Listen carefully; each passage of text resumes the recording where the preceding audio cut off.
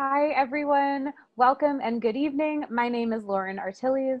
On behalf of Harvard Bookstore, I'm pleased to introduce this virtual event with Adrian Tomine presenting his new graphic memoir, The Loneliness of the Long Distance Cartoonist, in conversation with Leanne Shapton. I hope you're all well and safe. Thank you so much for joining us virtually tonight. Through virtual events like this one, Harvard Bookstore continues to bring authors and their work to our community and our new digital community during these challenging times. We're hosting five events a week right here on Zoom.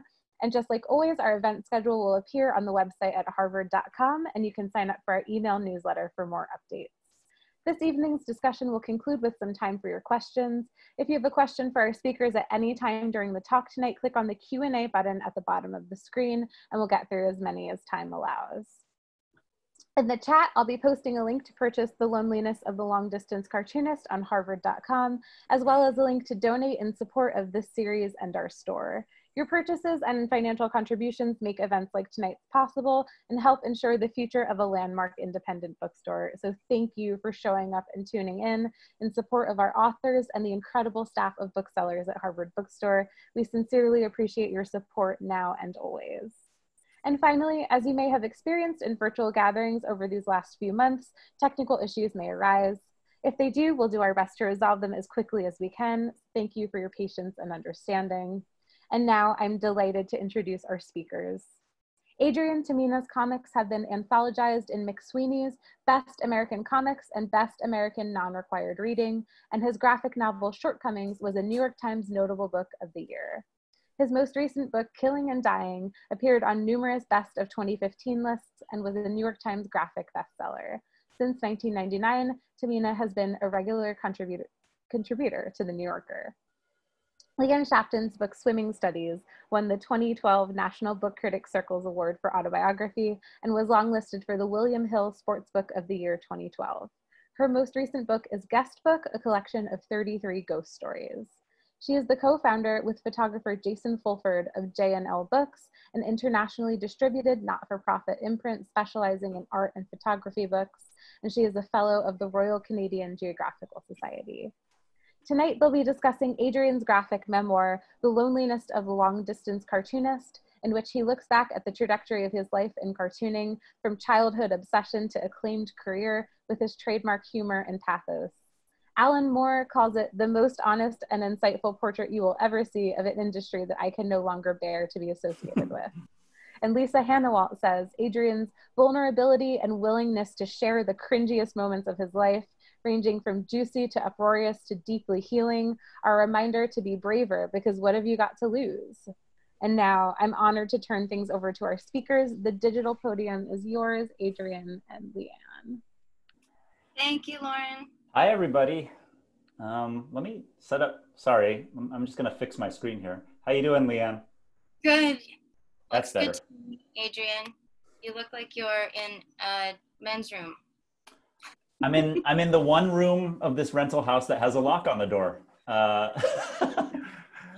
and it. and it happens to have nice uh, has one of those little halo lights up there, so it's, it's uh-huh. no harsh shadows. Lovely ring flash. Yes, um, I am so happy to be talking to you about your amazing memoir. Can I call it that? Yes. Um, uh, I love how the form of memoir is changing, and this is like one more one more kind of like needle bump. Um, mm-hmm. Although there's a no, there's a lot of like graphic novel memoirs, I have to say. But um, this, I kind of want to do a show of hands, but we can't do a show of hands to see how many people in the audience have read it, so I can I can talk about things in it. But let's, I'm just let's spoil. Let's just, just okay. go ahead and spoil. Yeah. Um, like a fridge left open. Yeah. Um, so the book is, gosh, I mean, the first thing that struck me audience and Adrian is um, the book is about you know so many perceived slights indignities humiliations that occur to someone getting their work out there someone doing their thing while um, while in the sort of company of um, your heroes and other people who are doing incredibly well um, alongside you. And all i could think was you are my Neil Gaiman. Like whenever we do together, there's this massive lineup out the door and down to the sort of No, airport no, no. for you. No, no, no, and then no. there's like one person who's just sort of sort of asks me where the bathroom is. And No. they're just, they're just, they're just- and I'm sitting there kind of, you know, this is before iPhones. This has gone on like forever. But um, for everyone in the audience, Adrian and I weirdly often are um, on do, doing events together, or on tour together. Um, this is such an honor. I actually appear somewhere in the book. Yes, you got a sneak preview of it uh, earlier, right? I, I think I, Yeah, I so- think I wanted you to see a little bit before it went to, to press. So it was a little bit of that that strange little echo of um, I know exactly what you're feeling because you are the you are the gay man to to my name in it. the first Um, time anyone's ever said that. you are. Um, but I also wanted to talk about bazillion other things in the book. It's absolutely beautiful. Thank you. Um, I love also the the time and care you put into its presentation, cover, Yes. binding, moleskin, the just the the sort of um, vernacular of the moleskin notebook. Yes. Um, credit so- credit to our friend Tracy Hurren for that for Oh. making it making my insane idea in the middle of a pandemic become a reality. It, it wouldn't. Tracy, happen. well done. Yes. I mean, Well drunk done, quarters, well done. Yes. I mean, this was, I've got this guy beside me too, because I'm going to talk a little bit about this, but everything they do is so beautiful. I mean, I'm proud to call them my publishers too. So yes. thank you. Yes. You're amazing. Okay, so my first question is about um, is about the title because I remember at around Christmas time you said, "Oh, I have a title, but I'm not going to tell. It's I'm too superstitious. I'm not going to tell you." Yeah. Um, a, why were you superstitious? Had you been undecided? And B, then we'll talk about Alan Sillitoe. Okay. Yeah. Well, it's. I think I say I'm superstitious just to make it seem cooler, but the truth is, I have some mental problem with pronouncing the titles of my books and the names of characters that I've invented and titles of stories. So I'm always just like my last book. Uh, yeah. So in that one and and the new book. uh, and a lot of times people try and get me to talk about characters. Like they'll say like, "What about this character from uh, sh- Shortcomings?" And I'll say, "Yeah, I know the character," and and I'll just go keep going where I keep referring to him as that character or something like that. So uh, it wasn't so much like I thought something was going to jinx it or that someone was going to use the title or anything, but it was just that it's very awkward for me to uh, to say them out loud for some reason. That's so funny. I'm now gonna gonna refer to that event in running. The what's it called? yeah, Oh, really for a, a really long time you run yeah. kind well, of cross. right, right now I can just keep calling it the new book, but in the future I don't know what I'll do. So I did when I did notice the title. I did think, what a beautiful title, and I loved the reference to the loneliness of being an illustrator, sitting at your drawing table, hours and hours, months and months, years and years, decades and decades, Yeah. and um, the long distance, obviously referring to like this is your look looking back at it and the the the, the sort of career that you've successfully had. Um, but I also I always remember that you love movies, and I wondered if it was the movie that you remember the story from, or was it the book, or um, yeah, I think it was. I you know I, I read the story a long time ago, and then I think I saw the movie after that, and I think that might have made a little more of an impression on me. Um, I need to go back and read more of Sillitoe's work because I, I've, I've as soon as I announced this title, all these people came out of the woodwork and said, "Oh, have you read this book?" Or um, there's one, I think, a novel that people keep bringing up um, that I haven't read yet. So I need to educate myself on that. Saturday night and Sunday morning. Yes, that's the one. Do you like it? I haven't read it, but I Oh, own it. Yeah, Okay. Yeah, Um, a lot of people have told me that I'd like it, so Yeah. I'll, check it out. let's read it. It's actually a lovely title too, isn't it? Yeah, I know. so the other thing was i wondered when i when i noticed the title i thought oh the angry young men because that was sort of the the group that Mhm. that um these these british writers were referred to as and i thought that's kind of a fitting title for you and Yeah. seth and chester maybe maybe Clowes like i don't know i just thought yeah there's a there is actually a thing and and not and i one of the things i loved about the book was seeing your anger and seeing kind of nihilism and like when you are when you think you're ill just going like what like how come you, what do you like i just thought oh my oh, god yeah. this is amazing. Just oh yeah. That was that was one of the most that was one of the most shameful things for me to have to put in the book but i thought I like it. I'm so happy you did. It just made it made your anger absolutely relatable absolutely wonderful absolutely i, I could feel it. And yeah. yeah it is funny that it's the things that you're most ashamed of that often people um people like kind of velcro onto and it it really worked because that's again in that story that's this point where you can feel your uh, the unfairness feeling and the but i'm gonna yeah. call you guys the young men now i think. None um, of us are young. none of us are young anymore though. That's the problem. Yeah that's true but they're still called angry young men.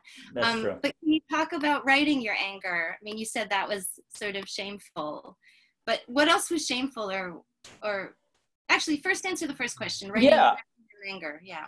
Um that's it's a uh you know um you know my wife fairly well and uh she would be a good person to speak to this but that's uh anger is an emotion that's hard hard for me to express. It's um it's i'm always kind of tamped down and kind of the affect that i have now is the affect that I'll have in the middle of a giant argument or something like that, which is infuriating to, to my wife, I think. Um, uh, and so those scenes, uh, and I think actually some people have said, why isn't there more of that? They, they think that um, I kind of gloss over that, that part. They think that like I cut away from the part where I like flipped out and I'm telling the, I'm here to tell you that, that there wasn't anything to really cut away from. I just sort of like you know froze or something like that at most.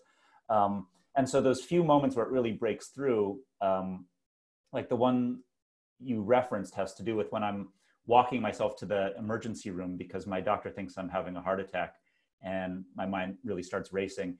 And instead of being overcome with this feeling of like well life was beautiful while it lasted and i love my fellow man i start looking at every person i see and i see like like an overweight guy sitting at a bus stop eating you know junk food and smoking a cigarette or something and i'm just filled with rage at him because he's going to get to go on living for some reason and he's going to go home and play with his kids that night. And uh, i've lived a fairly healthy life and somehow i'm the one who's about to die of a heart attack or something like that. So that that was one part where that was one point in my life where the rage definitely came came bubbling up. But even even writing it in the comic i felt a little ashamed. I was like, I don't want people to know that I was kind of wishing death upon this nice oh, guy. Oh, we all we all do that. I it's perfectly timed, Adrian, and it is again like I see your rage bubble up. Like I think there's rage in killing and dying. Oh, there's yeah. a lot of rage at, at sort of rejection and humiliation in the book. yes, you kind of you take it and you have poise through it and you sort of but it wasn't it was a really a really interesting moment. Um, I think it comes through in the work more than in any other place in my life, to be honest. I think even in the the fictional stories, um, I have these characters that I sort of present as like, well, this guy is a balding white football fan in somewhere in California, so he's nothing like me, and I can then have him go into these tirades or something like that. That you know, obviously came from some horrible part of my brain. Yeah, it's X-ray vision. They're yeah. the yeah, yeah. Um, I okay, so I wondered I wondered about um well how how much you get well two questions sort of my question seems to come in pairs. Are you getting humiliated lately and are the, the same things? And then B, I wanted to ask you about the form of this book because again, it's different and, and it does it's not anything like, but it's a little bit more like um, um, scenes from an impending marriage. Yeah. I wondered if you considered, um, maybe do this one first. I wondered if you considered this more or less experimental in terms of your work. And what do you consider experimental that's or a good, kind that's, of a stretch for you? Yeah, that's a good question. I think this is not at all experimental in in in terms of form. I mean, it's um, I laid it out and drew it uh, in the simplest, most direct way possible. Just uh, the only thing on my mind was just communicating the the the story, not necessarily making it look beautiful or, or stylish or anything like that. But in terms of content, for me, it was experimental. It was definitely a stretch for me um, because I, I I started out doing kind of lightly autobiographical comics when I was much younger, but they were um, so generic and not revealing in any way. It would be like, I got a flat tire, and when I changed the tire, I hurt my back. The end, you know, something like that. Um, and uh, so when I, you know, prior to this book, this new book, my, when I was working on my on my previous book, um, it was uh, all fiction. It was like sh- fictional short stories, um, and I worked on that for a long time, and I really just got in the in the zone of using fiction as a way to really express myself. And i felt very comfortable with that. And i really started enjoying that like especially writing darker stories that i think um, like i'll say it the title story killing and dying was something like really kind of funneling all the anxieties and fears i had at that stage in my life which was a new a new parent um, and kind of putting it into a fictional story. And it just really worked for me. And i thought. This is kind of the way i want to work um, but then when I finished the book, I didn't want to just do a repeat. I didn't want to do like another book of the exact same kind of short stories. Was so, it harder for you to write about yourself so directly? Um, it started out being a little paralyzing when I decided that this was the project I was going to do. I started feeling very tensed up and and and constricted, um, and a lot of it had to do with imagining how it would be received, how people what people would say to me in response to it. And so I intentionally did kind of a trick, a mental trick, where at the last minute I decided not to tell our publisher about it. Um, I was about to kind of do like a pitch and say, "Can I get an advance on this? And can we set the deadline and everything like that?" And then I said, "No, I'm going to just not do that." And I and I held back on it, and I worked on it um, till I was probably about halfway done with the book before I started mentioning it to people and, and before I even talked to Drawn and Quarterly about it. And that whole time I had like I had a little note in my sketchbook that said something like, if this sucks, just throw it away. And it was sort of like I was telling myself that it was just this kind of private experiment that um, yeah. that maybe no one would ever see. And that was what sort of allowed me to get into some of the more embarrassing things. I think if I knew for sure that it was going to be published, I wouldn't have drawn like the um, the uh, lactose intolerance story or anything like that. Um, I love that story too. And YouTube jokes. Um, yeah. it, um, well, it's funny that you bring up killing and dying, and maybe I'll jump ahead I'm, um, to this question, which is I, I found this book, your this this new book, this new book, yeah, untitled new book, um, to be so funny and funny in that way of of the of the self-deprecating humor of this um, of of the sort of autobiographical self self-deprecating humor. Um, I wondered if you were, you know, your generation's Woody Allen. Like I just it's that kind of without all of the attendant. Um, uh, yeah, I know, just whatever. But um, great reference. I know. I I cringed right before I said it, and but then I said it but when but you know the sort of of humor I'm talking about. It's the shrug. It's the it, there's mastery to the shrug and the sort of admission of one's of of one's humiliations in that. And you do it so so beautifully. Killing and Dying, the title story in Killing and Dying, is about comedy too. Mm-hmm. And so I wondered if you could talk about your taste in comedy um, and your own your own sort of delivery of of things uh, that you find um, that you find funny because I, I find you now to now I think you've just mastered comedy in a completely different way. Yeah. Well, thank you. That's that's a nice compliment because I feel like that was the other experiment with this book a little bit where I was, you know, in, in past books I've had serious stories that had little jokes sprinkled throughout or or little moments that were kind of supposed to be funny. But this was the first time where I thought like I was really sticking my neck out and kind of doing jokes and doing punchlines and, and, and things like that. So I was, I was nervous about that.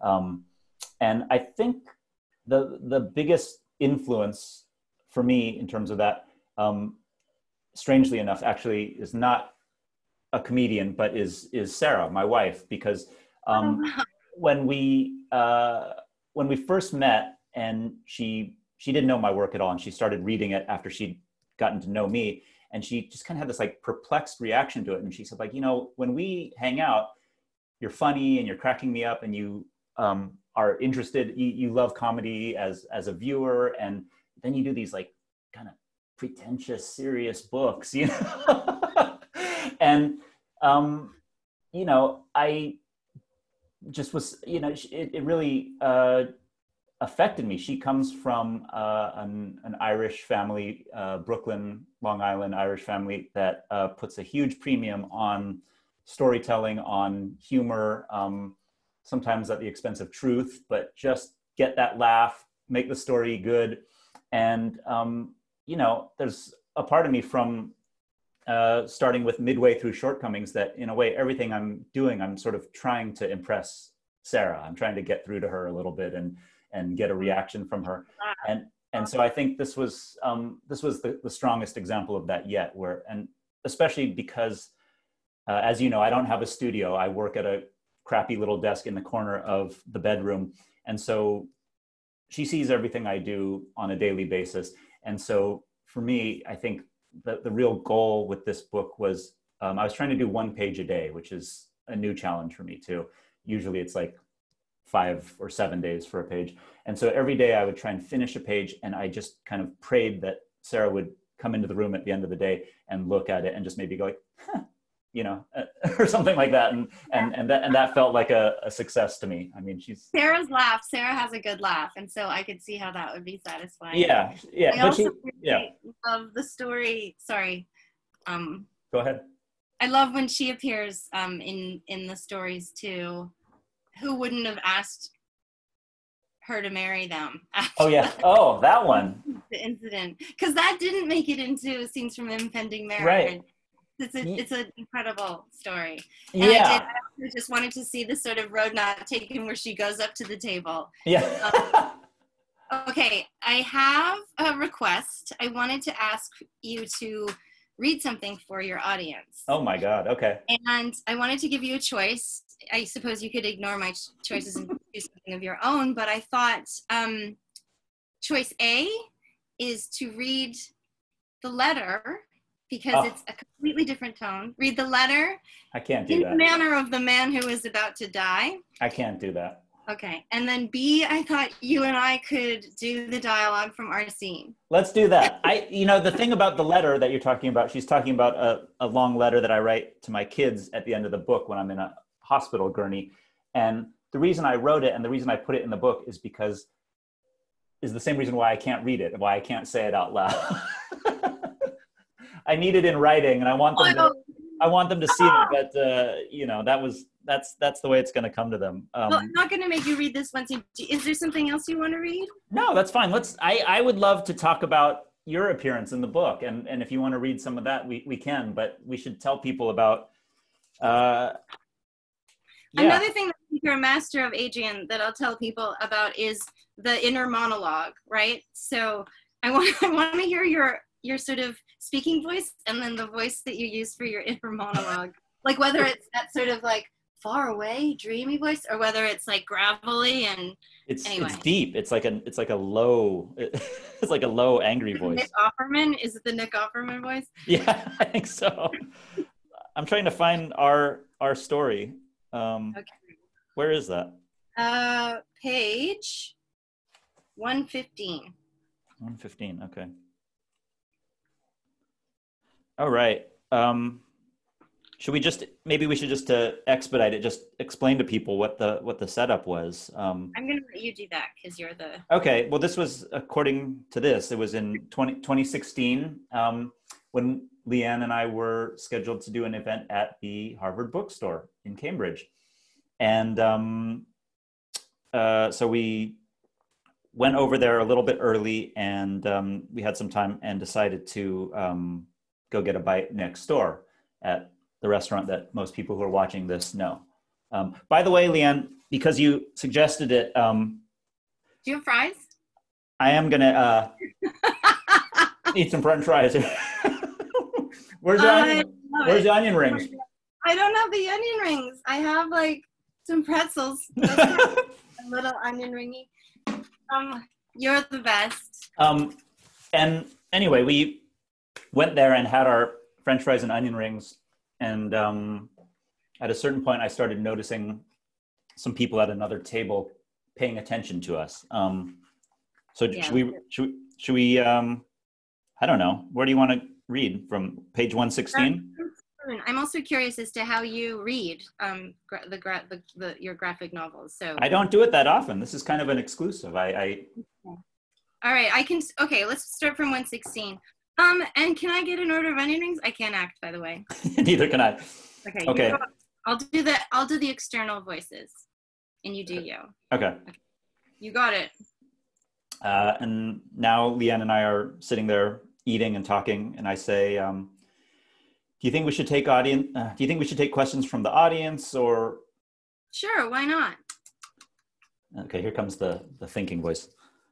That couple at the next table keep looking over here. They're probably coming to our event. I should watch what I say in case they're eavesdropping. I guess it was a dumb idea to eat at the place right next door to the bookstore. God, now they're glancing over here and whispering to each other. Could they be any less discreet? I guess we should probably head next door. Yeah. Oh, God. The guy's getting up and coming over here. The woman looks mortified. Uh, hi. Sorry to bug you guys, but. Uh, hi. Nice to meet you. Uh, we'll talk to you over at the event, okay? Huh? Uh, next door. We're doing a signing. I was just gonna ask if we could have the rest of those fries and onion rings. Um, if you're done with them. All right, there it is. Uh, and now you could probably fact check me because I, I, remember that there are a few distortions to that. I don't know if you recall, but that wasn't exactly. I streamlined it a little bit. Tell me how well, you streamlined. I was such a coward that when I sensed the guy coming over, I left. I actually like walked over to the front door and left you hanging there to deal with him. And you came over, and I was like, "Oh my god, I can't believe those fans accosted you." And you were like, "No, no, they just wanted our leftover food." they were hungry. Yeah. I do. It is. I mean, I was actually sort of impressed. Like, how many times have you wanted to sort of just lean in and say, "Are you done with that?" I mean, I just well, yeah. I don't know I, if you're like me, but I don't have much of an appetite right before doing an event. So I think we ordered a bunch of stuff and kind of picked at it and just left it there. Exactly. And then I do love the little the girlfriend looking mortified. oh, it's so good. I'm just waiting and, and hoping that someone who's one of these characters in the book will somehow come across this. Like maybe that couple will eventually see this, or the couple from the sushi restaurant in Brooklyn who, you know, yeah, the guy trashed my work while I was sitting next to him. You know, maybe yeah. maybe they'll see it. I don't know. I'm just hearing your internal monologue voice just then. oh yeah. I mean, let me adjust. Okay. Another another um another question then. As this is, um, I caught the end of your incredible, lovely talk with Michael Sheen yesterday. Oh yeah. Who referred correctly to this as an origin story. Um, in the superhero thing, I have two questions: one about comics and one about you. I'll do the comics one first, and then maybe the end on the one about you. Um, in terms of comics, I mean, when when we're comic book fans as kids, right, and we like the superhero ones and the Archies and the Richie Riches and whatever, um, what do you think that there's always a moment where you either go into, and I was trying to think of the correct word for sort of the underground indie comics, or you stay with the superhero ones. What is yeah. that gateway and when does it happen? And do you think it's something that's that's sort of like a coming of age thing or like when did it happen for you and what were yeah I, mean, I think i think there's a crucial turning point in a in a comic book fan's life maybe around i mean for me it happened around age 10 but sometime between 10 and 12 or something like that i think you either well i'll tell you what happened for me first which is that at age 10 or 11 i was on this weekly ritual and it's very ocd like where every saturday i would go to the same comic book store and i'd already filled out like a subscription list so i didn't even have to like look for the comics i wanted they had already plucked them out of the shelf and just were ready to hand it to me so that i could buy them. And um, uh, I, at one point, I realized that I did that and spent a bunch of my money and went home and kind of just really quickly, joylessly kind of flipped through them. And then I was all excited to get out the mylar and the, the bag and the sleeve and sort of put it in there and tape it up and file it alphabetically in this acid free box. And kind of like I depict in the in the book, I had this sort of like, you know, like ghost version of me floated up and was like, God, this is so pathetic and it's such a waste of money and it's such a waste of your life. Why are you doing this? You don't even enjoy it. You're like on this hamster wheel of, of this ritual. Um, and for me, I was just fortunate enough to, the, the, the comic store I went to had a, a section of like the underground alternative stuff. And so the next week I just sort of made a like 90 degree turn and like went into that formerly forbidden area. And um, thank God no one seemed to care or no one stopped me. And so that was when I discovered um, Love and Rockets and Peter Bagge and Dan yeah. Clowes and all Why do you think some people don't ever make that turn and stay with the superhero? Like, what is that? What is that DNA or what is that thing that where it's either yeah. take that road, not take, or you know that kind of thing? Yeah, I mean, I think for my generation, or at least my age group, it, it almost felt like I was an anomaly in that I, I made that little turn because a lot of people I knew and you know if you at that time when I was going to comic conventions and stuff and I was seeing people who were my age but were still interested in those same superhero things or whatever that mm-hmm. that we all liked when we were kids. And I, I think it's I think it's totally different now and I think that there's no one one path or the other. You sort of grab something from over here and you grab something over here and it's it's it's there's no hierarchy and there's no um, separation from it. But um, for me it, it, just had to do with like a genuine lack of interest. It wasn't like i i thought i should be cooler or I, I i felt ashamed or anything like that. It was just that i had concrete evidence that i'd lost interest because i wasn't even reading them anymore. It makes me think of that. I'm sure i've trotted out this quote to you before because i love it so much. There's like an the psychotherapist Adam Phillips says um, our excesses are our keys to our own poverties or something mm-hmm. like that. Mm-hmm. and that idea of just like collecting collecting collecting and there's you know there's got to be something more well okay since you did take pivot and take that kind of road my last question before we go to q and a's is had you not uh-huh. and had you had you gone down a different path it's like that halloween party that you couldn't come to that one time you oh yeah couldn't come to the road not taken Halloween party. What is your road taken, and what would the memoir have been? Like how how do you think you would have been um, had you not turned into that little room in the comic book store and, and started looking at those comics?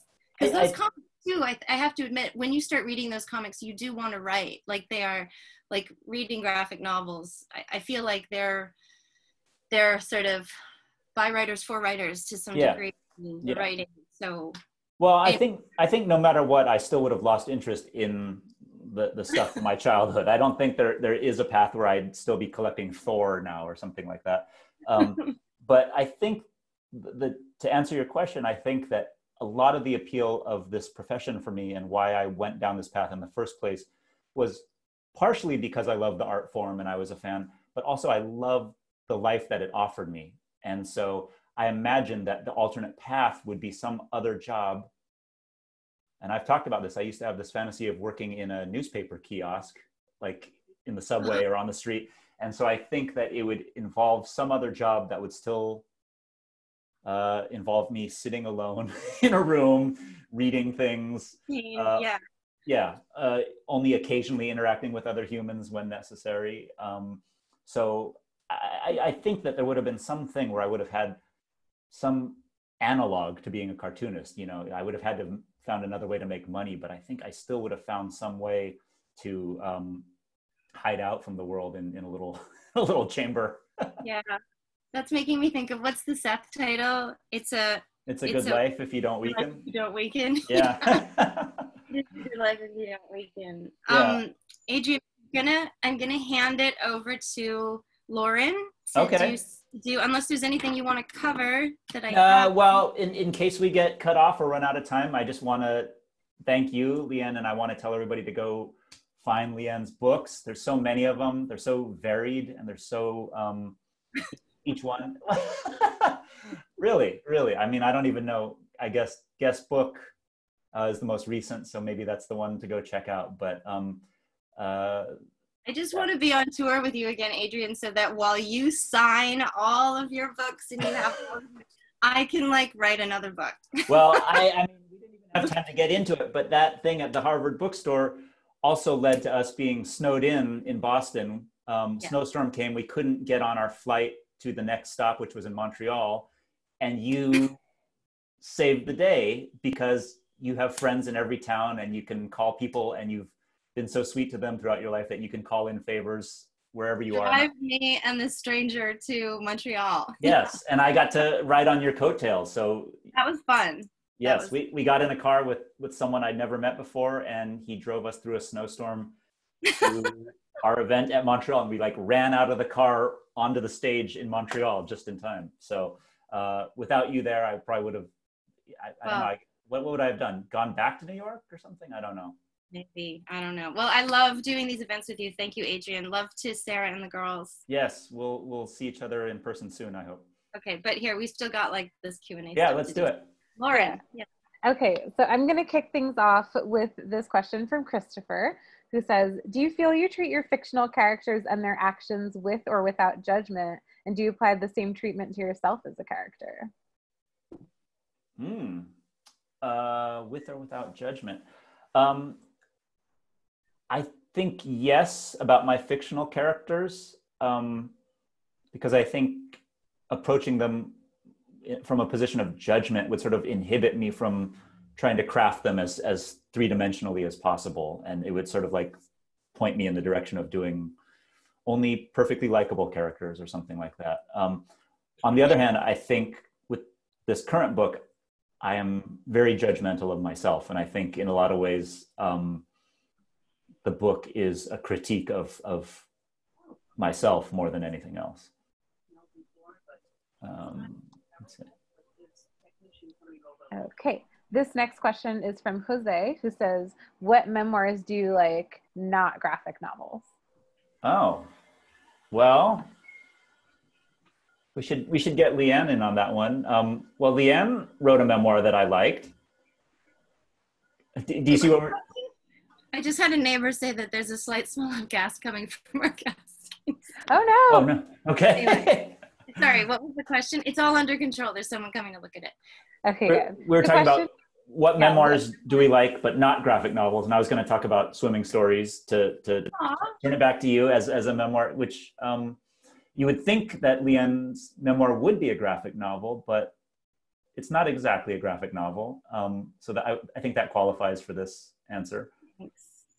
Um, anything that you that comes to your mind, Leanne? Well, um,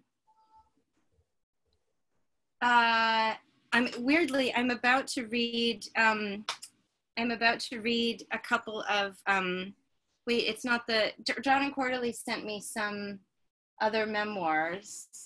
I am trying to think of. Um, Sorry, I've caught. Wait, caught she, she said not graphic novels though. Oh, sorry. Right. Yeah. yeah. Straight up memoirs. Memoir. Um, it's so funny because I actually really don't like that word. Mm-hmm.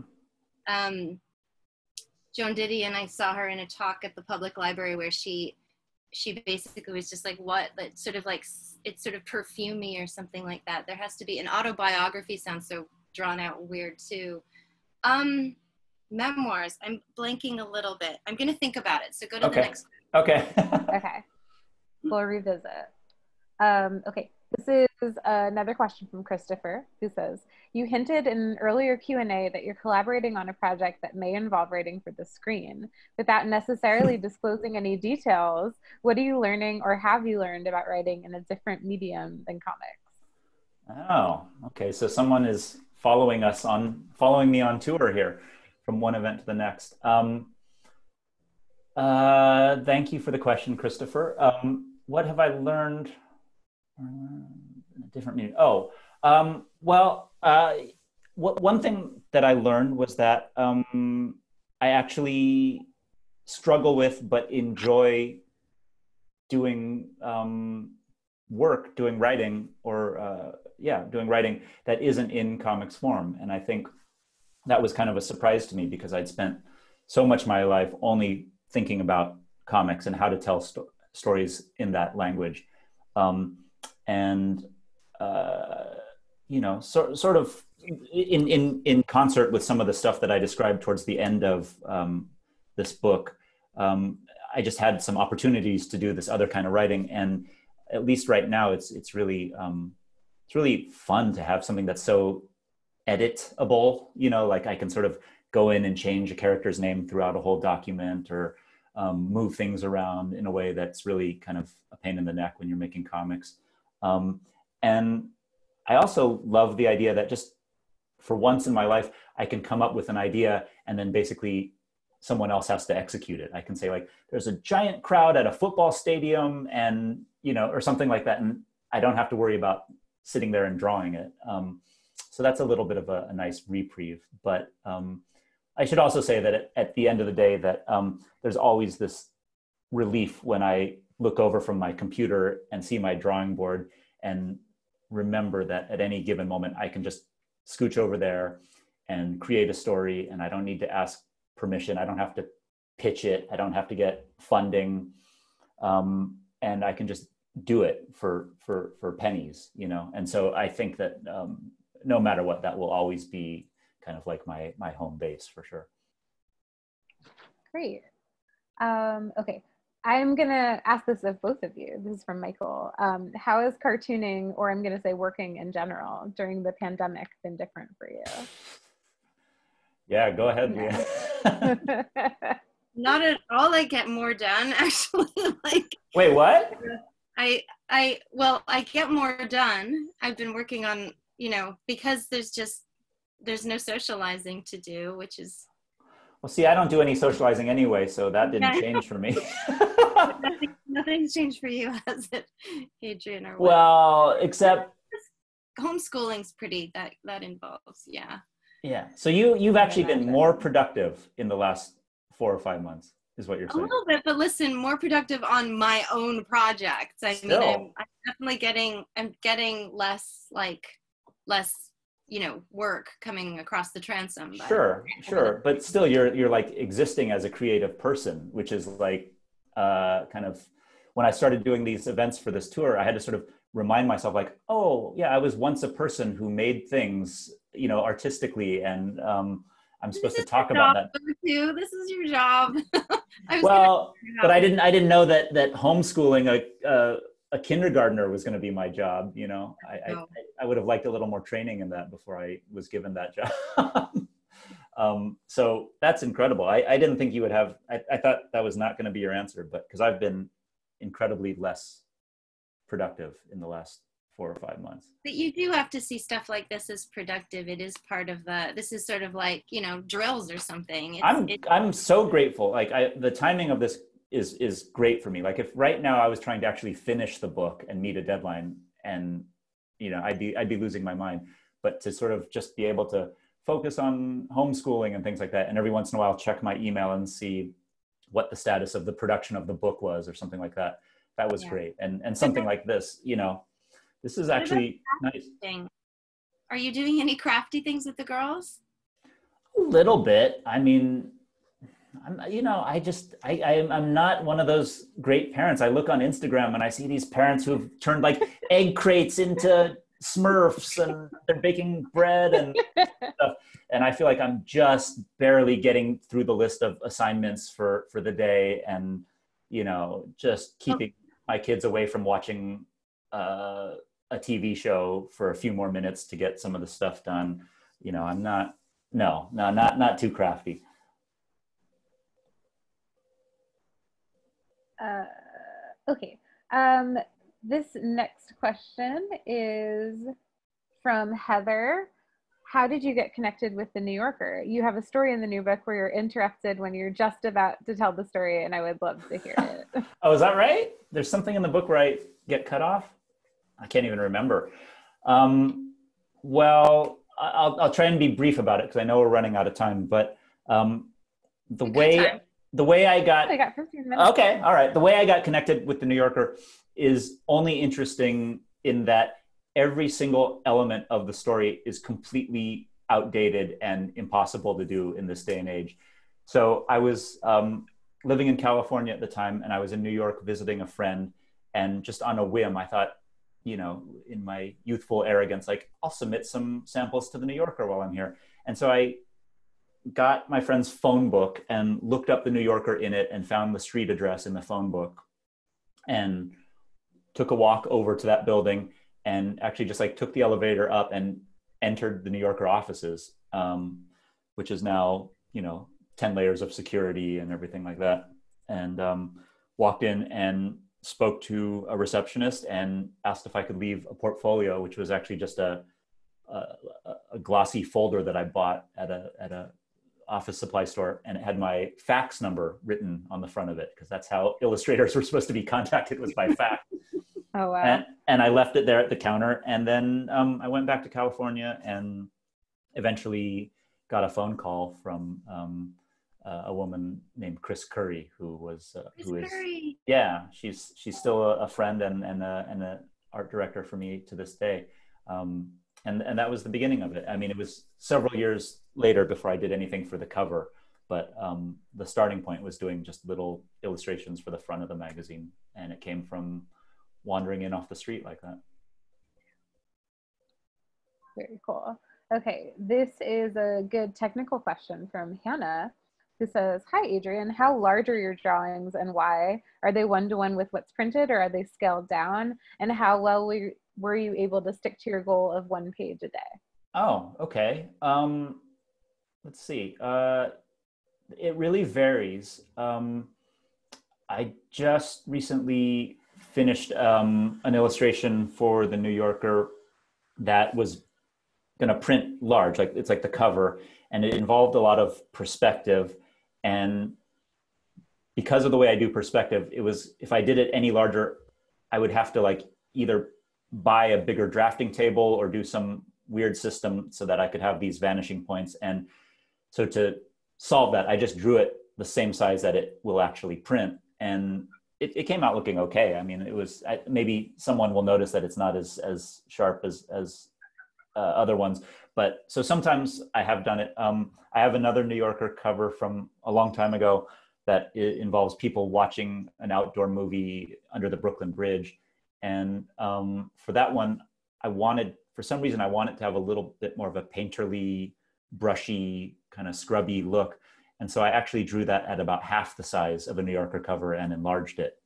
Um, and every, most of the other times I draw things just uh, a little bit larger and, and reduce it. That's what um, in in the new book. Uh, the pages are probably drawn, uh, you know, maybe ten or twenty percent larger than than they actually printed. But I guess the the point that I'm trying to make is, is it doesn't really matter. There's no right or wrong way, and I've kind of tried out everything, and it's just um, you know, it's sort of whatever works for for you. Um, and to your second question, Hannah, um, how well were you able to stick to your goal of one page a day? Uh, probably 50 50. I, would say uh, bet, better than I expected, especially since in the past I'd spent like a week on a single page. Um, but if I got like five pages done in a week, um, I felt pretty proud of myself. Um, and yeah, so that it was it wasn't exactly one page a day, but but close to it.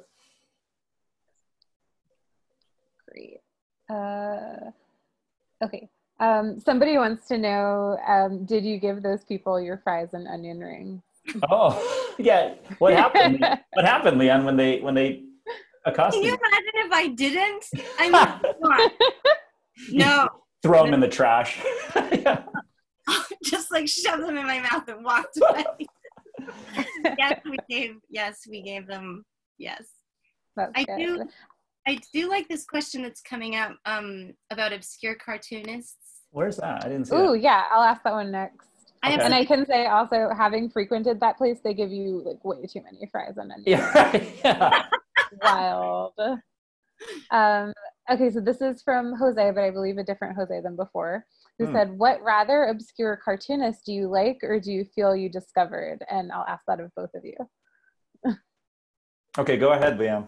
Oh well, I've been I I kind of noticed this because I've been looking at um, Adrian. Do you follow Desert Island Comics? hmm They've been doing this this um, thing called Rescue Party, where they Mhm. have um, guest uh, cartoonists and and graphic novelists and artists um, contribute sort of a, a panel, and they are blowing my mind. They're Yeah. so beautiful and they're so good. I haven't heard of hardly any of the Yeah. artists, and I just I'm so excited, and it makes me love Desert Island Comics so much. And please, um, Sean. Uh, oh wait, no, not Sean. That wasn't your question. Um, Uh, Jose. Uh, it was Jose, yeah. yeah. Okay, yeah. Um, Desert Island Comics Rescue Party. I'm just noticing so much good work that I can't even keep up.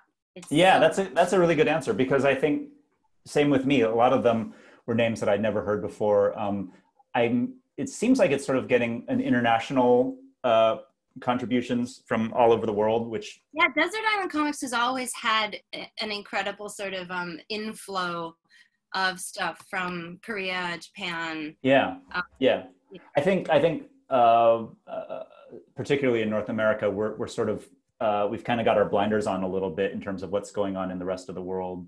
Well, I mean, in general, obviously, but uh, uh, also with with comics, I think there's there's sort of this really set in stone notion that if it's not translated, it doesn't exist to me. You know, like if I can't read it, if it's not been translated for my consumption, I'm not going to make the effort. Um, and I think that's one of one of the things that I would actually give credit to the internet for in terms of of expanding what's what's available to us. We're not limited to what publishers decide to to put on the shelves for us. Um, Yeah. I almost So- can't believe how well suited Instagram is for graphic novel um, transmission. yeah, yeah. Um, I, I, there's so many that I could throw in on that, um, but I will just quickly mention uh, a Japanese cartoonist named Tagawa, spelled T A G A W A, um, and uh, I think most of most of my friends, most cartoonists know this person's work and they're they're fans of it. But it has, like I said, it's never been translated. I don't think maybe a little bit, maybe a few stories and anthologies have been translated. But he's got like a massive, like this beautiful hardcover library. There are all these beautiful books that are in these elaborately designed slipcases, and they kind of look like like funny animal comics, like Japanese kids comics. Um, but um, oh, so, okay, yeah, they're they're um, they're just they're just gorgeous. I think uh, there, there's some questionable uh, political content to it. I think some of it might have been done during the war, um, and you know I've never been actually able to read the words, but uh, visually and in terms of design, it's it's really incredible. God, wouldn't that be an incredible imprint, um, Adrian? Just like all of these untranslated, untranslated graphic novels. Yeah, Do something. Um, I also wanted one of the questions that I kind of had half formulated was, what in the graphic novel industry would you would you like to see happen? I know say that that say that again. What in the graphic novel industry or in the book publishing industry in general would you like to see happen? Oh God. um in do you know what i mean like Yeah. i'm i'm all on the let's get mainstream publishers to publish um to understand how well drawn and quarterly sort of does this stuff and to get them to to get comfortable with publicizing marketing um, more graphic material but Mhm. i always sort of i just i love i love hearing from people like you and richard mcguire and and like uh Liana Finck just just wondering like what what what would you want to see happen and Well, it's it's difficult. It's a little difficult to answer in a way because it feels like it, it, in my lifetime, I've seen so many massive strides and and kind of evolutions within the comics industry that so many things that I once thought of as like my kind of uh, pie in the sky fantasy have come true. You know, so a lot of that is already like hard for me to believe has actually occurred in terms of just how comics are perceived in the culture, um, the economics behind it, where you don't necessarily have to be like basically homeless or or working some full-time other job there's there is a slim chance that you can make a little bit of money and Yeah. that has this great I, I don't say that so much just because you know some a few a few people can get rich but because there is a possibility of some kind of economic com- compensation that it's opened the doors to just a much broader range of artists who in the past might have said like well that sounds like kind of a fun thing to try but i can't i can't gamble gamble it and i'm going to just uh, go be a storyboard artist in hollywood instead because i know i'll make money um, Yeah. uh, and you know i think the other thing and i think this is just sort of broadly about publishing in general is that i hope very relatively quickly we start to see uh, a industry like the people who are making the decisions and writing the checks that is more reflective of the audience. Um, you know when you go to a comics festival now especially like something like spx or cab or, or tcaf or something like that and you look around and you see how the the the audience for comics the fandom has just broadened in in compared to what i knew when i was a kid and i think that there are a lot of those fans who are budding artists themselves and i think it would be broadened in age, broadened in uh, like broadened how? all in all ways in all ways i mean when i was a kid going to comic conventions it was little boys or middle-aged men almost all white. And you know i think that's in fact that might even be like a minority now when you go to some of these comics festivals.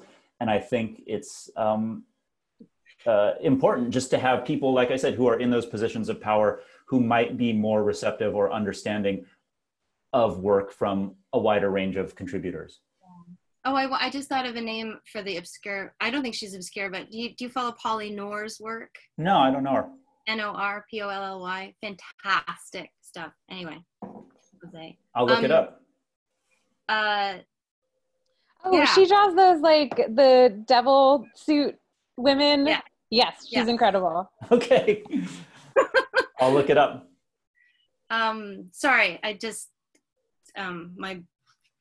But yeah, um, I I. What other things have you seen, uh, uh, Adrian? You said you in your lifetime that you saw happen that you're you're cheered by um industry. Well, uh, I think the fact that now, uh, you know, if I was just meeting Sarah now or, you know, going to meet her parents for the first time, I could just easily say, like, I make graphic novels. And they'd say, like, oh, okay, that's, that's all right. You know, I, I understand that. And even 10 years ago, it was like this kind of stammering thing about, like, you know uh, it's it's like comic books but but they're not for kids they're they're for adults but they're not like adult comics and you know all that all that kind of Yeah. awkwardness um so something like that just the fact like i didn't even ever really like that term graphic novels or graphic novelist but i'm totally happy You- to you I can't. I'm surprised you don't just say writer. i could but oh my god, you could. I know. I can't. I can't bring myself. You're such a good writer. I can't even. I I just I I, I feel uh, envy and and and I feel happiness for the the present day version of of me when I was 20 or something, um, meeting other people out in the world and having to explain what they do and and then being met with just like oh yeah okay graphic novelist yeah you know um, that that seems that seems amazing to me. Yeah, yeah. Well, you've Are done those, it. are those birds that I hear? Birds or crickets? Yeah, Birds or crickets? Okay. Sounds like a bird. Yeah. crickets. Well, in in in wrapping up, Adrian, I'm just so impressed with this. I love it. Um, my daughter tried to steal my copy. Tommy. She she could. It's it's. There's nothing. Uh, there's nothing too bad in it. She could probably look at it, right? Yeah. she laugh at she. And thank you, Sarah, for encouraging me your to to commit your jokes to paper. yeah. Well, so funny and heartbreaking. The bat like my my my taste in comedy is the heartbreaking funny. me too. So so good. me too. Um, did we have anything to do to, to wrap up here or how, how are we doing? Yeah. Um, doing great. I think Okay. I'm just going to thank you both Okay. for this incredible conversation. Um, thank you out there, everyone, for spending your evening with us. Um, please learn more about this remarkable book and purchase The Loneliness of the Long Distance Cartoonist at harvard.com. And on behalf of Harvard Bookstore here in Cambridge, Massachusetts, have a good weekend and stay safe. Okay. Bye bye. Bye, Adrian. All right. Let's get together when we can. Bye. Bye.